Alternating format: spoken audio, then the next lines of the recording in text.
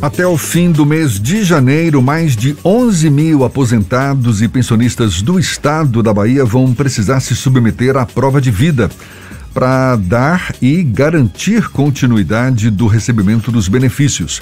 Esse procedimento tinha, foi retomado agora pelo Estado após um período de interrupção ocasionado pela pandemia e está sendo oferecido pela primeira vez também por videochamada. A gente fala mais sobre o assunto e conversa agora com a coordenadora de relacionamento com o beneficiário da Superintendência de Previdência do Estado, da Suprev, Silvia Machado, nossa convidada no Issa Bahia. Seja bem-vinda. Tudo bom, Silvia? Um prazer tê-la aqui conosco. Bom dia. Bom dia, Jefferson. Bom dia, Ricardo. Bom dia, ouvintes da Rádio Isso é Bahia. Fernando. Mais uma vez eu quero agradecer o convite. Oh, perdão, Fernando. Fernando que está com a gente aqui. é, quero agradecer o convite de estar aqui mais uma vez falando a respeito da prova de vida dos servidores nativos e pensionistas da Previdência. Ah, que bom então. E dessa vez tem a novidade da videochamada. A gente imagina que seja para minimizar riscos em relação à Covid, mas tende a ser uma ferramenta, um recurso é, daqui para frente, independentemente de Covid-19, Silvia? Sim, Jefferson. Desde que iniciou a pandemia, é, a Suprev, em parceria com a SAC, nós disponibilizamos para o beneficiário é, essa modalidade de videoatendimento, justamente para que as pessoas que não queiram ir à rede é, fazer atendimento presencial tenham a possibilidade de ter o serviço prestado de forma virtual. Então, é? a tendência é que a, o vídeo atendimento ele fique independente da pandemia. Imagino que muita gente vai querer optar por essa essa possibilidade. Como é que vai ser é, é, possível? Você, o beneficiário, ele precisa se cadastrar primeiro? É, em qual plataforma? Quais são os caminhos para, por exemplo, então fazer por videoconferência, videochamada, melhor dizendo, essa prova de vida? É, o beneficiário ele precisa fazer o agendamento prévio para ter o serviço prestado pela rede SAC, tanto na modalidade virtual como no presencial. É, ele faz o acesso através do saque digital, o, o, agendamento pode ser feito também pela central de atendimento da Suprev, onde ele vai solicitar o serviço do vídeo atendimento. Após o agendamento, uma, um dia antes do atendimento dele, um funcionário da rede SAC entra em contato para confirmar o agendamento e encaminhar para ele o link onde ele será, é, através desse link, ele terá o atendimento dele, né? E, um dia, e no dia da, do agendamento, a gente também faz um segundo contato para certificar de que ele acessou certinho a, a, o link e está dentro da sala para fazer o atendimento. E quando o aposentado, o pensionista, ele não tem não sei se o termo correto seria capacidade intelectual, mas ele não tem muita afeição com ferramentas de tecnologia e aí isso dificulta o acesso a uma ferramenta para poder fazer essa conferência virtual. Como é que funcionaria esse tipo de situação? Ó, diante da, da, desse, desse momento de pandemia, a gente sabe que o público da Previdência, né, na maioria são pessoas idosas, a gente acredita que um filho, um parente pode estar ali auxiliando o beneficiário. Nós já estamos, é, já tivemos um, uma boa aceitação desse público para o videoatendimento.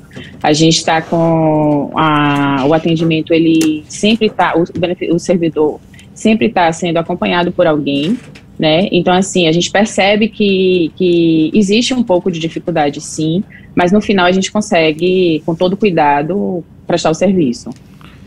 E quando ele tem esse atendimento de uma pessoa ao lado, o apoio de uma pessoa ao lado, de alguma forma não prejudica, não sei, a pessoa não pode de alguma forma estimular que a pessoa finja que está, vi, está viva, não sei dizer, é só uma, um exercício meio que de viajar, mas é porque tudo é possível nesse país, né? É, você está cogitando Sim. a possibilidade de fraudes, isso, né? No caso isso, de, isso. De, de, prova de vida, né? É, na, quando a gente faz o atendimento da vida, do, do vídeo, a gente pede que o beneficiário posicione a câmera de forma que a gente consiga identificá-lo a gente pede que ele apresente o documento de identificação. E se ainda assim a gente, se o, o atendente ele perceber que não está conseguindo identificar por alguma razão, ou porque o documento já não reconhece mais o, o servidor que está em câmera, a gente orienta que ele faça o atendimento presencial né? Ou que ele troque o documento se a foto do documento não estiver identificando ele no, durante o atendimento de vídeo.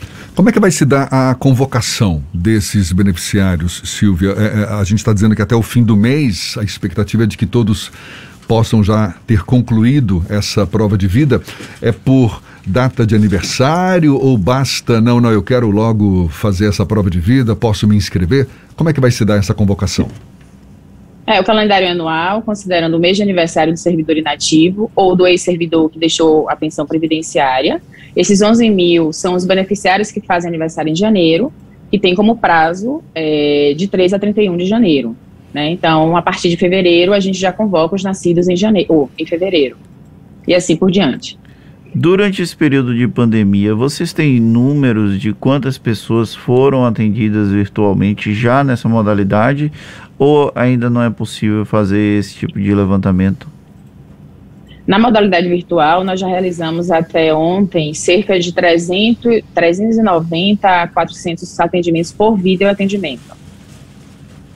E para que fique bem claro, então, em relação à convocação. Eu que estava todo equivocado aqui, achando que todo mundo tinha que provar essa vida até o fim do mês. Não.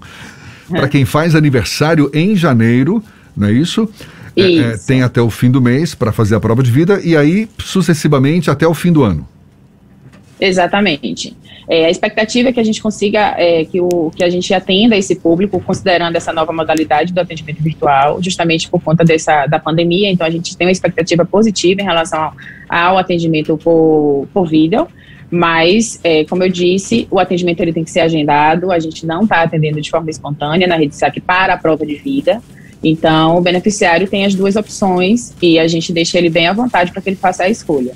No caso do atendimento presencial, como é que faz para agendar? Onde é que acontece esse atendimento? O caminho é o mesmo, é através do saque digital, através do site www.saquedigital.ba.gov.br. O beneficiário seleciona o serviço realizar prova de vida. No, na, na página do, do serviço, ele tem a opção de, de escolher no, pelo vídeo atendimento ou presencial e faz, escolhe o dia e o horário tanto para o presencial como para o videoatendimento, o caminho é o mesmo. Caso ele não consiga fazer pelo saque digital, ele pode estar entrando em contato com a central de atendimento da Suprev através dos telefones 0800 071 5353 ou 71 4020 5353. A gente está conversando aqui com a Silvia Machado, que é coordenadora de relacionamento com o beneficiário da Suprev, Superintendência de Previdência do Estado. Silvia, o Fernando levantou a, a hipótese, a possibilidade de fraude né, nesse processo de, de prova de vida. É uma realidade? Vocês têm, de fato, é, é, números que expressam quantidade de fraudes? E, e, e eu fico aqui imaginando duas situações. Há o caso em que o beneficiário já morreu e alguém esteja recebendo esse benefício é, é, sem ter o direito, não é? Uma vez que o beneficiário já, já morreu, e pessoas que estejam recebendo o benefício de beneficiários vivos, mas também sem esse direito. E, existem essas, de fato, essas situações? Sempre existe, né, Jefferson? Então, assim, o que, a Suprev faz? A gente tem a área de controle, onde a gente tem acesso a sistemas de controle de falecimento, de óbito, né? Então, quando o familiar ele não comunica o óbito, a gente puxa alguns relatórios desses sistemas e consegue é, obter a informação. Mas, nos casos em que a gente identifica que o beneficiário faleceu e a informação não chegou a gente, a gente descobre depois, a gente tenta resgatar esses valores que foram pagos indevidamente junto ao familiar ou o responsável. Tenta resgatar. Conseguem resgatar? Sim, a gente tenta fazer, a gente faz o contato com esse familiar, apresenta né, aquela, aquele débito e a gente faz uma negociação, né? O, o familiar que não aceita fazer negociação, a gente caminha para a procuradoria para que eles façam a análise e nos oriente quanto a, a, ao procedimento que deve ser adotado. Tá certo. Mas a gente tenta fazer ah, o resgate, sim. Tá certo. Então tá dado o recado, olha. Já está valendo esse processo de prova de vida para aposentados, pensionistas do Estado, agora com essa novidade da videochamada. E é só seguir o calendário conforme a data de aniversário, para procurar a Suprev e fazer a prova de vida, continuar recebendo os benefícios. A gente agradece a Silvia Machado, coordenadora de relacionamento com o beneficiário da Suprev. Muito obrigado, Silvia. Um prazer tê-la aqui conosco. Obrigada Seja sempre bem-vinda. Bom dia e até uma próxima, então. Bom dia, tchau. Obrigada a todos. Bom dia. Essa conversa vai estar disponível logo mais na íntegra nos nossos canais no YouTube, Spotify, iTunes, Deezer e Instagram. aqui na Tarde FM, 20 minutos para as 8 agora.